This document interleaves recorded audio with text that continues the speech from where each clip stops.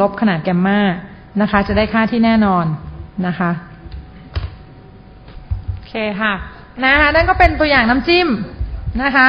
สำหรับการนะการใช้ Smith chart นะคะ ทีนี้ลองมาถึงนะคะ การเป็นเปลี่ยนเป็น admittance นะทวนให้นะคะ ถ้าเกิดคุณจะหาค่า admittance หรือส่วนกลับของค่า impedance นะคะ ส่วนกลับของค่าความต้านทานใน Smith chartทำได้โดยการหมุน นะ Smith chart ค่าใดก็ตามที่คุณอยู่ตรงนั้นหมุนไป180องศานะคะ หรือ lambda ส่วน4นะคะ ก็จะนะอ่านค่า admittance ได้นะคะใน Smith chart นะคะ แล้วก็ Smith chart มีอยู่สองชนิดคุณจะทำอะไรให้เป็นเป็นหนึ่งให้มันเป็น Z Smith chart ก็ได้นะคะ Smith chart ที่คุณได้เนี่ย เราเรียกว่า Smith chart ปกติ นะคะ มันจะเป็น Z ก็ได้หรือเป็น y ก็ได้ขึ้นอยู่กับคุณใช้นะคะ เมื่อไหร่คุณหมุนไปร้อยแปดสิบองศาปุ๊บ ค่าใหม่ที่คุณอ่านตรงนั้นจะเป็นค่าที่เป็นส่วนกลับแล้วนะคะอันนี้แพมเป็น y จะเป็น z ก็ได้ แล้วก็มีอีกอย่างที่เป็น z y สมิชาร์ดนะคะ ซึ่งเอา z สมิชาร์ดกับ y สมิชาร์ดมารวมกันอยู่ใน Smith chart อันเดียวกัน อันนี้นะคะ ซึ่งคุณหลายคนทำในข้อสอบไปแล้วนะคะ นะส่วนการต่อนะคะนี่อาจารย์พยายามที่จะพยายามเข้าอยู่นี่คือจะพยายามเข้าไปถึงเรื่อง เราจะไปทวน matching network กันก่อนเลยนะคะ ในส่วนของ matching network ตัวนี้สิ่งที่มันจะต้องเรียนรู้ก็คือนะการต่อเป็น parallel แล้วก็ series ในตัว Smith chart ว่าทำยังไงนะคะ ในส่วนของการต่อนะอันที่หนึ่งเนี่ยการต่อ parallel หรือการต่อขนานนะคะ อุปกรณ์มีอยู่สามอย่างด้วยกันคือ R L หรือไม่ก็ C นะคะ เพราะฉะนั้น มันก็จะเป็น combination ของตัวพวกนี้ต่อกันนะคะยกตัวอย่างเช่นการต่อขนานของ R กับ L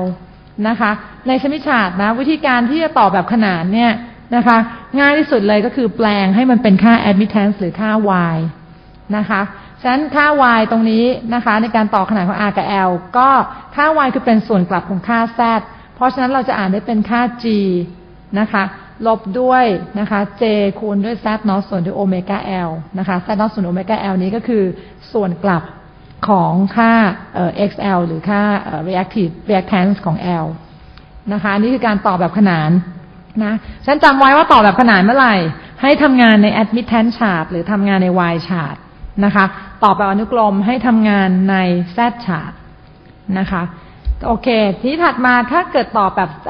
ต่อแบบ parallel จะเป็น r กับ c นะคะ ไม่ใช่ r กับ l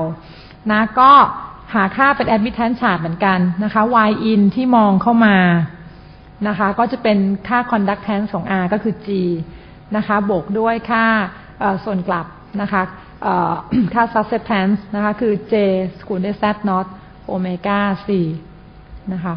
โอเค อันนี้เป็นตัวอย่างวงจรเฉยๆ แล้วก็ถ้าต่อเป็นซีรีส์หรือต่อเป็นอนุกรมก็ง่ายนะคะหาค่า z นะเราจะทำงานใน z ชาร์ตนะคะทำงานใน z ชาร์ตก็เป็น r บวก j j โอเมก้า l ผ่านด้วย z not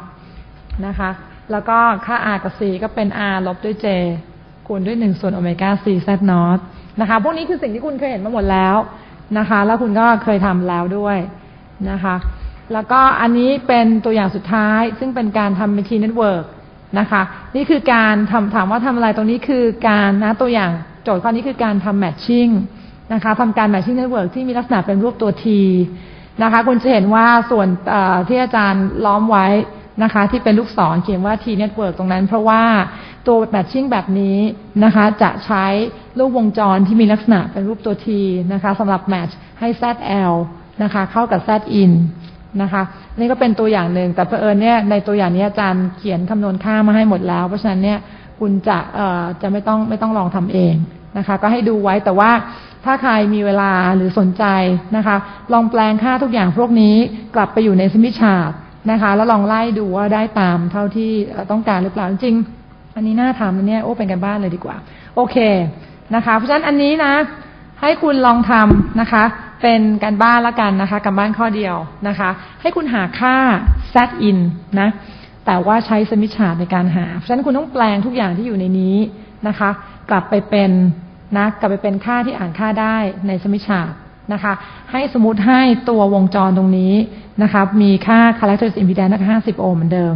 นะคะ เข้าใจโจทย์นะ โจทย์ข้อ 6 นะคะ เอาไปเป็นกันบ้านนะคะ แปลงค่าคอมโพเนนต์ทุกอย่างนะคะ กลับไปอยู่ในค่าที่อ่านค่าได้นะคะ เป็นค่า impedance นะแล้ววนในสมิชาร์หาค่า z in ออกมานะคะ หาค่า z in ออกมา โอเคนะคะโอเคฮันก็ท่านวันนี้นะคะ เดี๋ยวเราทิ้งไว้ท้ายแค่นี้เออบอกอย่างโทษทีตัวหนังสืออถ้าใครยังใช้เล่มเดิมก็ใช้ต่อไปนะคะ บทท้ายๆ คุณได้ซีหลอกมาหรือเปล่าเออ